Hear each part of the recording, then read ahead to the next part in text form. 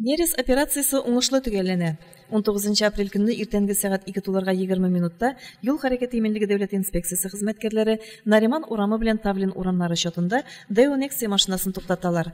Аның салонында тиешле документларсыз 23 киң маңгай балыгы табыла. Машина йөртүче Зәй эчке эшләр бүлегенә китерелә. Хәзер әлеге факт буенча тикшерү эшләре бара. Нерес операциясе 15 апрельдә башланып киткән иде. Ул 15 майга кадәр дәвам итәчәк.